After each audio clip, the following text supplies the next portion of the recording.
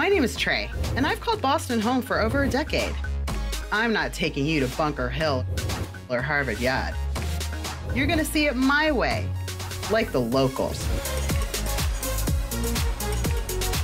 First on my agenda, a home style breakfast. The Friendly Toast has a massive menu that is sure to please every taste. Homemade breads make sweets for days. It's like a magical pancake land. Or if I'm in a savory mood, there are breakfast burgers. How do you make a burger breakfast? Like anything, put an egg on it. Now it's time for a touch of history. I love the Cambridge Antique Market. Boston is rich in U.S. history, known as the Cradle of Liberty, with tons of monuments and historic sites. But us locals like to see the U.S. history through vintage items like jewelry and furniture, all of which you can find here. It's time to mosey on through to Back Bay and make my way to lunch.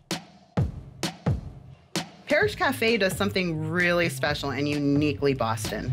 Every sandwich offered has an original recipe and collab with other local chefs. With plenty of beers on tap, it's a great way to get a regular lunch combination with not so regular sandwiches. Satisfied from a good meal, it's time for some fresh and just a little chilly air. Winters in Boston aren't for the faint of heart. But despite the time of year, I can't let the beautiful waterfront of Boston go unappreciated. Seaport Commons has year round activities and installations. Currently, musical light up seesaws are here for a little modern nostalgia. Now it's time to warm back up beside a brick oven.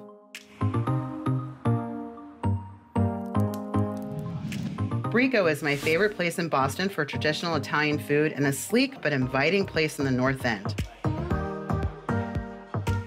I come for the walls of wine, the pasta, and dry aged meats. That's definitely amore. After dinner, I like to come to Back Bar, a hidden gem that takes privacy to the next level. The directions first door past the dumpster? For those who are in the know, you're treated to a custom cocktail experience surrounded by local art in an inviting atmosphere.